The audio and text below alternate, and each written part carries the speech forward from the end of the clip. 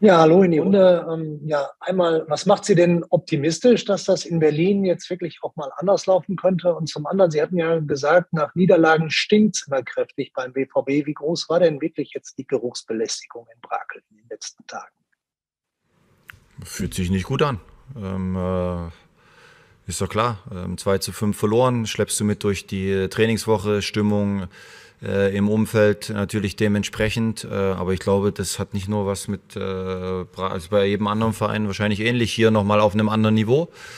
Aber ähm, äh, was stimmt mich optimistisch?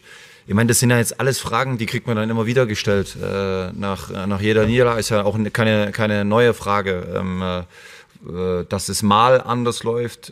Ich glaube, wir haben jetzt auch schon ein paar Spiele gewonnen diese Saison. Äh, äh, heißt mal, weiß ich nicht.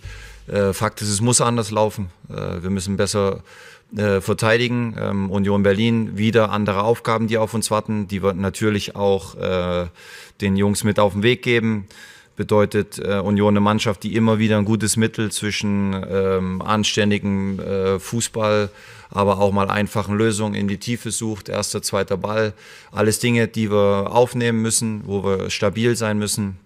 Ähm, äh, wir äh, passen ein paar Dinge an und ähm, äh, dann müssen wir am Sonntag ähm, das Ergebnis Leverkusen äh, gerade rücken, eine gute Leistung bringen, weil wir werden nicht an der Trainingswoche gemessen, die wir äh, hatten jetzt, sondern wir werden an Ergebnissen gemessen.